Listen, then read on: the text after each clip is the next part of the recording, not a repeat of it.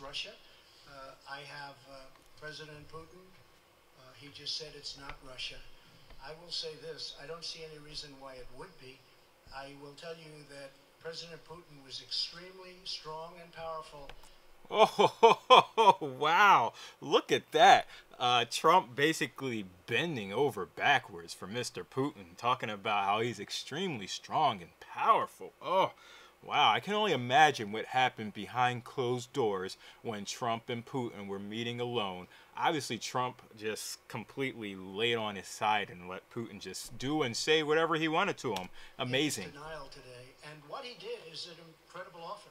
He offered to have the people working on the case come and work with their investigators with respect to the 12 people. I think that's a. So, what you're telling me is that in order to prove that there was no collusion, Mr. Trump, you are actually asking that there be more collusion. This is amazing. Let's hear what else he has to say. Incredible offer. The probe is a disaster for our country.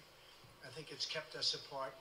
It's kept us separated. There was no Yeah. collusion Oh. at all. Oh, Uh, everybody Well. knows it.